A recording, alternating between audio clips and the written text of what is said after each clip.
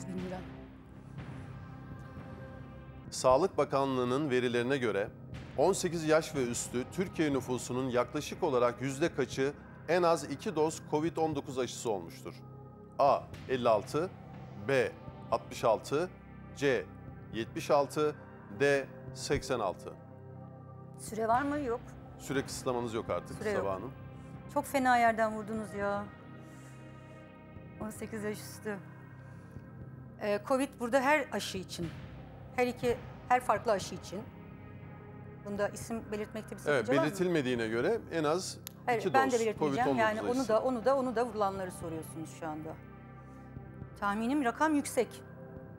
86 idi ama Evet 86 olması. Başka verileri sormuyor. Sağlık Bakanlığı'nın verilerine göre. Çok pis yerden vurdunuz ya. Çalışmadım ben buna. Sağlık Bakanlığı verilerine göre. Kere yurt dışına giden herkes zaten mecbur vuruldu. Seyahat ederken vuruldular. Korktular, vurulmadılar bazıları. Eğer 86 ise zaten çok yüksek, güzel, harika aşılama yapmışız yani.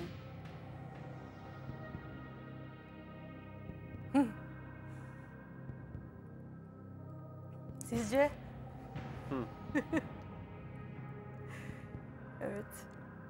Çarpı iki de var burada. Ha? Şimdi siz ikisini koysanız ben yine dağılırım. Çok güzel. Da doktor arkadaşımı arayacağım galiba.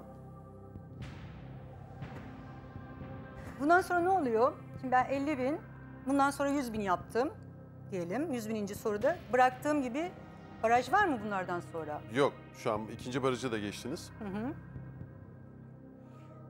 Hep yedinci soru kritik oluyor. Teniste de böyle yedi kritiktir. Ondan sonra hep kazanmaya başlarsınız yedi dört, yedi beş. 7'yi geçtiniz Sabah Hanım. Bu 8. soru. Öyle miyim ben? Evet. Teşekkür ederim. Telefon. Alanınızla da Evet evet o yüzden Evet, çok yani şimdi çok içindesiniz, utanacağım. o Yani yüzden- oğlumun dediği çıkacak. Bu ne? Yani anne rezil olsan kimse izlemesin seni. Sakın kimseye söyleme demişti. Böyle bir soruda buna izin vermemek lazım. İstatistik hiç sevmezdim. Yani üniversitede de çok yüksek oranda şeyle mezun oldum ama istatistikten hep nefret ettim. İşte buyurun. Karşına çıkıyormuş demek ki. hangi üniversiteden mezun oldunuz? İstanbul Üniversitesi İstanbul Tıp Fakültesi yani ÇAPA. Çapa'dan. Ee, amcamla aynı yaştayız bu arada. O da ilk orta liseyi beraber okuduk. Beni babaannem emzirdi. Nasıl oldu o? işte size matematik sorusu. Bazı hikayeler var onun gibi. Bugün amcamı elinden tuttum parka götürdüm falan evet diyorlar. bizde öyle de var. Yani adam bu kadar yerdekine dayı diyor. Ee, ben amcamla 3 ay farkla doğdum. Amcam Ocak'ta doğdu. Ben Nisan'da doğdum. Babanızın kaçıncı... Babam birinci çocuk. Amcam sekizinci çocuk. O tekne kazıntısı. Nenem Ya dedenizin e, tek evlilik mi yapmış dediniz yoksa tek tek. tek evlilik? Dedem benim Fransızca, Arapça hepsi mevcuttu. Çok e, derin bir adamdı. Rahmetli toprağı bol olsun. 14 rahmet yaşında babaannemi gözüne kestirmiş. 16'sında çocuk yapmış. Birinci, ikinci, sekiz- sekize kadar arada düşmüşler. Düşenler falan var. Öyle yani düşen... e, Torunuyla kendi evladı aynı yaşta. Evet. Ben onun Ve sütünü tek, emdim. tek anneden, tek eşten. Tabii, Babaannem süt annem mi dediniz? tabii. Eskiden devlet memurluğu hakkında bir fikriniz var mı? Hani 40 gün süt izni vardı. Şimdi çok şükür çok uzun zamandır harika bu şeyler. Artık insanlar daha rahat çocuk yapabiliyor da. 40 gün Eskiden sadece sadece. 40 gündü? Evet, annem 40 gün emzirdi. Çalışıyordu da devlet memuruydu. 40 günden sonra dönmek zorunda kalıyor Eskişehir'e. Ama hani bilmiyorum o sıralar Eskişehir'de benden bir önceki çocuk ölmüş. Annemle babam yine bir çocuk. Ablam olmuş 25 günü küvezde ölmüş. Hmm, Allah rahmet. Bunun herhalde e, onlar da genç yaştalar işte 22 falan civarında ve bu ölüm onları çok etkilemiş. Hmm. Babaannem burada devreye girmiş. İşte ben bakarım demiş. Ama o sırada aslında amcama hamile olduğunu bilmiyor. Çünkü kendini menopozda zannetmiş babaannem. Aa, anladım. Yok yani. Evet. Ve Annem 40 günden sonra dönünce ben de babaannemden süt alıyorum. Zaten e, o kadar süt almışım ki böyle bir tosuncuktum yani. E, Enis'in elinden her şeyi de alıp yemişim. Babaanne sağ mı? Hayır. Öyle mi? Toprağı Nur. Hayatımda büyük izi vardır. Onun sayesinde okulu tamamladım. Allah rahmet Her eylesin. zaman Size de emeği çok olmuş. Ne diyorsunuz soru Güzel için? Bir şey değil mi? İyiydik böyle. ben telefon jokerine. Evet, telefon jokeri kullanmak zorundayım. Son kararınız mı? Değil. Ne yapmayı düşünüyorsunuz Sabah Hanım? Danışmayı. Son karar. Tamam, bunu bekliyorsunuz değil mi? Tamam, Evet pardon. son kararını demenizi bekliyorum. Yarışmacımız telefon özür joker hakkını kullanmak istedi. Jokerleri tanıyoruz. İsmail Kabali, Şahap Arpacı, Lüey Garip Özelsoy. Kimi arayalım? Lüey Garip Özel Soy'u arayabilir miyiz? Tabii ki. Yakınınız nedir? Ee, son ikisiyle orta ve liseyi beraber okuduk. İkisi de çok, hala görüşüyoruz biz. 91 mezunları olarak bir araya geliyoruz. Meslektaşınız mı Lüey Bey? Evet, o da doktor. Şu anda uzmanlığını yapıyor. Geç kaldı biraz, çocuk yaptı önce o da. Liseyi nerede okumuştunuz? Antakya Kurtuluş Lisesi. Kurtuluş Lisesi, Antakya. Kurtuluş Lisesi. 91'liler ekibi öyle mi? Evet. Bey umarım doğru cevap verir. Vermek zorundasın. Uzmanlığı Lüey. nedir Lüey Bey'in? Aile hekimliği uzmanlığı yapıyor. Vermek zorunda. İyi akşamlar Lüey Bey. Kenan İmirzalıoğlu ben. Nasılsınız? Merhabalar Kenan Bey, siz nasılsınız? Çok teşekkür ederim. Yarışmacımız Sabah Abdülhayoğlu Solak 8. soruda takıldı. Size danışmak istedi.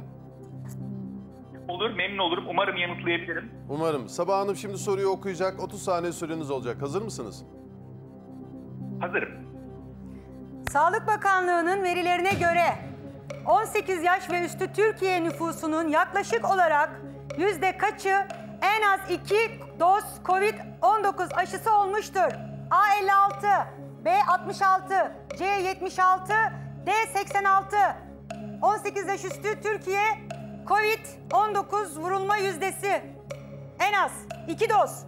Lüey çabuk süre bitiyor. Lüey çabuk. Evet. He? Bedeyi alabilir miyim bir daha? Lüey çok...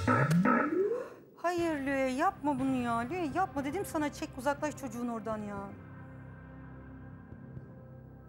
Bunu bana yapmayacaktın ya. Çift cevap şoker hakkınız var. İki şıkkı eleyebiliyor musunuz? Eledim desem.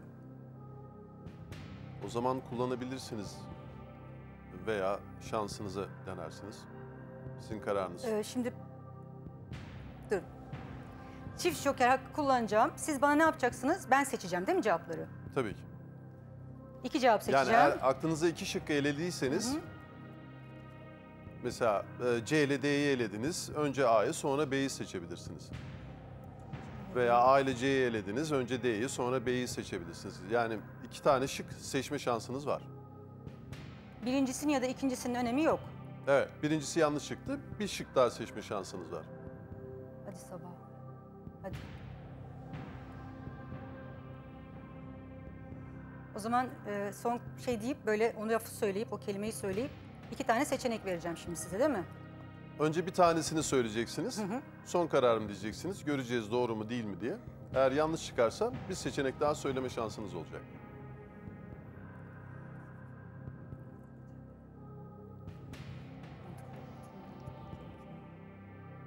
Onar onar artıyor bunlar ya? Bakar mısın nereden vurdu beni ya? Sağlıktan vurdu beni.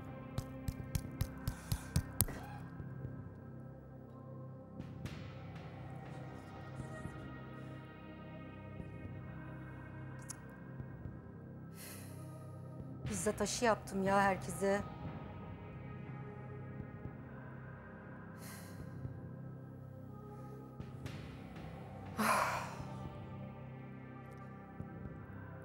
C 76 son kararım. Ama ilk çıktığından beri 86 dediniz mi? Evet. 76 hiç dememiştiniz. Dememiştim. Neden dedim biliyor musunuz? Şimdi cevaplayın söyleyeyim. Peki çift cevabı kullansaydınız ikinciye ne derdiniz? 76 doğru çıkmasa. Ben kaybettim mi yani? İkinciyi söyleyemeyeceğim. Bilmiyorum, soruyorum şu an. 86 Ay öyle bakmayın. Geçtim mi? Burada mıyım? Ne oldu? 86 doğru cevaptı. Yanlış mı? Çift şoker hakkı kullandım. Demediniz. Çift cevabı kullanıyorum son kararım demediniz. Ben size defalarca sordum Sabah Hanım. Olamaz. Maalesef evet. Allah buraya kadar gel iki de aa bir de artı jokerle git. Tüh. Yapma ya. Rezil oldum ben ya. Kendime rezil oldum var ya. Abi ben ondan çok en başından beri 86 dediniz. 86 ise eğer zaten çok Ya başarılı çift- bir bitti, aşılama bitti. yapmışız Boşuna dediniz. konuşuyorum ya bitti. Bitti yani haklısınız evet. Ben bu ne ya? Bu ne ya? Bu kadar çalıştık. Çalıştınız zaten size işgüdüleriniz sizde kalan bilgi doğruyu söyledi. Evet. Siz 86 dediniz. Ben 86 demenizi bekliyordum açıkçası. Siz o soruyu sorunca niye uyanmadım ki ben? Çünkü ben çift jokeri söyledim ya. Söyledim. Bitti. Yok işte son kararım demeniz gerekiyor. Diğer Evet. jokerlerde de öyle Evet. dedik ya. Söyledim. Bitti. Çok eşeğim ya. Estağfurullah, estağfurullah. Ama şey böyle. O ben çift jokerle gittim diyeceğim. Ne yapayım? Bir Jokeri de havası da var değil mi?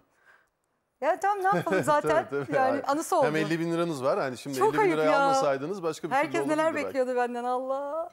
Gitti tamam ne yapıyoruz kalkıyor muyuz? Eklemek istediğiniz bir şey var mı ayrılmadan önce? Üzüldüm. Ee, güzel şeylerle dönebilirdim. İlerlemek istiyordum. Büyük bir şanstı burada olmak. Sizlerle olmak. Güzeldi ya. Eğlenmeye bence fena da çalıştım. ilerlemediniz Fazla konuştum ama te- kusura bakmayın. Estağfurullah. Biraz heyecan var zaten. Biraz değil var. Tüh ya nasıl yaptın sen bunu kendine ya? O hayıflanmayı sonraya bırakalım isterseniz. yapalım? Şimdi evet Kalkalım mı? ayrılmadan önce söylemek istediğiniz bir şeyler varsa onu paylaşın. He tamam. Şöyle yapayım ne söylemek istiyorum. Hayvanları beslemeye devam edeceğim. Çocuklarıma paralarını yollayacağım. Hayallerimin küçük bir kısmını bununla yapabileceğim. Arkadaşlar kusura bakmayın e, seyrettiğiniz arkadaşlar. Onlar artık size bir şey ödemeyeceğim. En fazla bir yemek yeriz beraber. Gerisinde çatır çutur yiyeceğim ne diyeyim yani. Tebrik ediyorum Sabah Hanım. Çok teşekkür ediyorum. 50 bin lirayla uğurluyoruz sizi. Böyle alın lütfen. Böyle alın lütfen. Tebrik ederim. Çok selamlar. Sağ olun.